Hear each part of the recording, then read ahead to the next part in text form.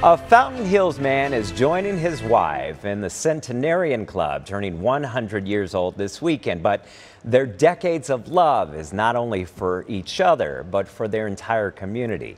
ABC 15's Cameron Polom has a story that's uplifting Arizona tonight. It's not every day you celebrate your 100th birthday, so you've got to look sharp, especially when you're meeting up with a hot date. Morning, Mill.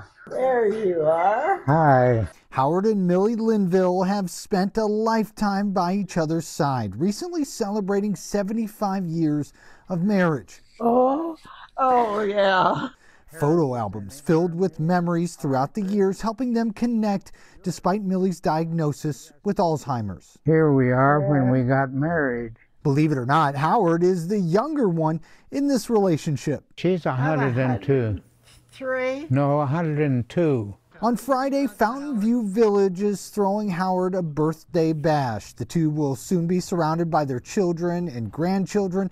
While making it to 100 is quite the feat, he's not that surprised. Well, I guess it's unusual, but it's going to happen more and more because people are living longer and longer. The two met in 1946. Howard, a general surgeon at a local hospital, spotting an attractive and charismatic medical technician. She was out, I guess, maybe getting someone blood from someone.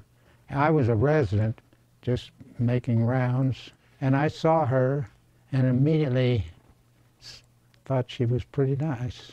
They'd marry a year later and adventures would ensue for decades. The good times always far outweighed the challenges. He's been pretty good. Has he been pretty good to you?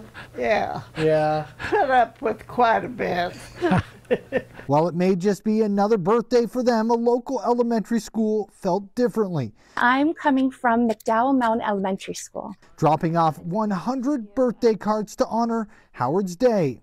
I hope your 100th birthday is the best one yet. They may not know what the future holds, but one thing is certain they'll continue to celebrate life's milestones together.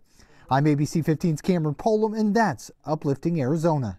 I love their love. Happy birthday, Howard.